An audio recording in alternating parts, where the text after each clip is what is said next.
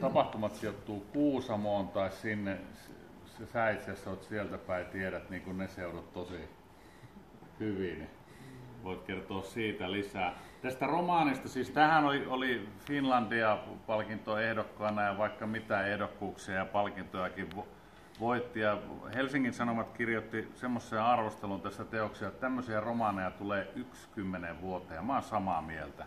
Mielestäni se oli häikäisevä lukukokemus, ainakin minulle, että tämän romaanin ansioita en voi ylistää, että nyt tehdään siitä näyttämöllä oikeastaan toivotaan, että päästään samanlaiseen lopputulokseen. Niin se on todella hieno ja tosi hallittu kuitenkin, että hieno synteesi monenlaisia tota, niin, asioita.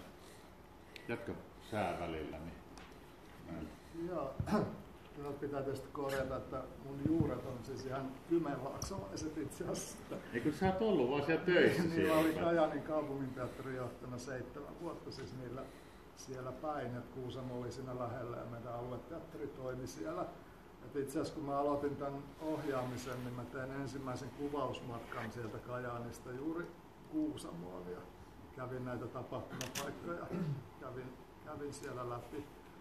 Ja niin kun, ta- tarpeesta valmistus, unohti äsken vielä mainita, eli Anne, Anni Halonen, kävin tätä tässä läpi. No jos siitä, siitä me, tästä meidän esityksestä, että niin kuin Snoopi sanoi, että se on kolmen sukupolven tarina, mutta että tämä kerrotaan just niin kuin tämä esityksen lukuohje tuossa antaa ymmärtää, niin neljän näytöksen niin kuin rakenteella. Ja näistä näytöksistä niin kuin jokainen on aina yhden henkilön näkökulma. Eli se neljäntien risteys tarkoittaa sitä, että tässä on neljä tarinaa, jotka risteää keskenään. Täydentämään niin kuin toisiaan. Se on hien, hieno se rakenne. Se on ihan semmoista sipulin kuorimista, että se ydin paljastuu niin kuin pala palalta.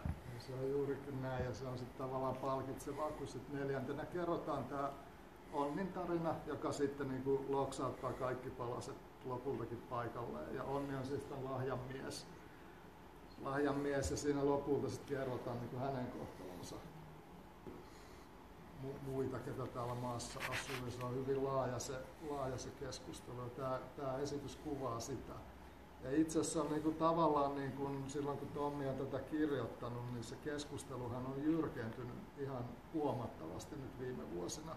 Ja tämä, tämä kirjahan tavallaan kuvaa sitä suvaitsevaisuuden kehitystä Suomessa. Että ne asenteet on ollut jyrkempiä siellä 1900-luvun alussa ja, ja ne on itse asiassa niin kuin tämän